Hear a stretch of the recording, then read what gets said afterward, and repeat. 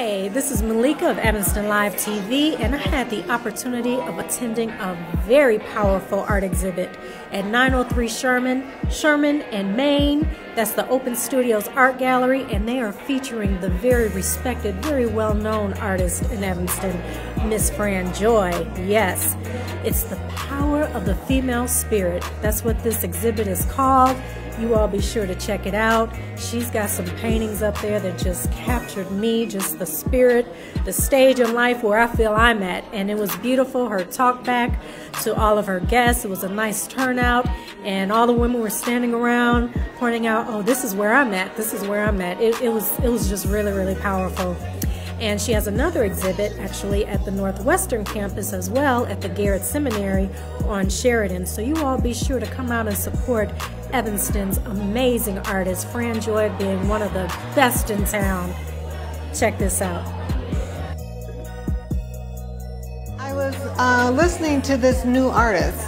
Uh, well, he's a new artist for me, and his name is Damien Escobar, and he's referred to as the violin crooner. And I was listening to him one day, and it was this song called Awaken, and I could just feel it going through him, and then I could feel it going through me. So I thought that was pretty interesting. And so I did this series of movement and spirituality and what I perceive that it looks like in a certain kind of uh, vibration and form.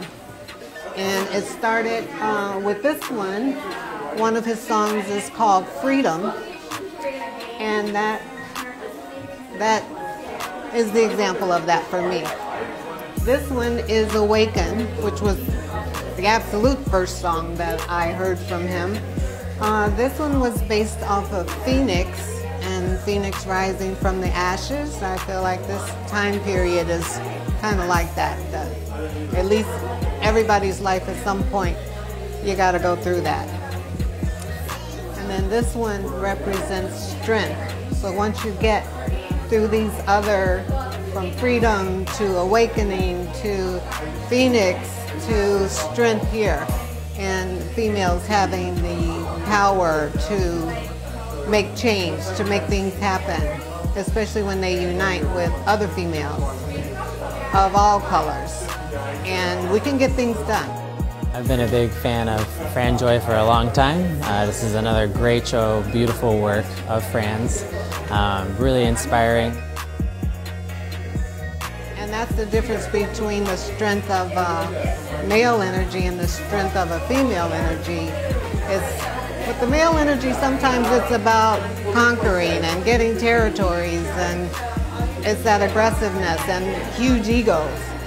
But more with the female energy, it's about creativity, it's about construction, it's about progress, it's about getting things done and being that person that brings life forth and supporting life and being about life and not about war and destruction and hate.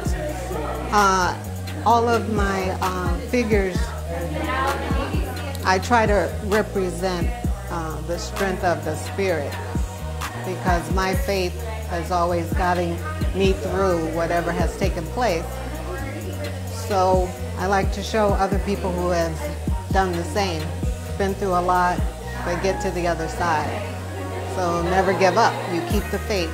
Whatever that faith is for you as a person, just plug into it. And women have a lot of energy they can plug into to make things happen. And that's basically what this particular show for me is about and what I'm trying to bring to other people. And I appreciate everybody that came out. And I thank you very much.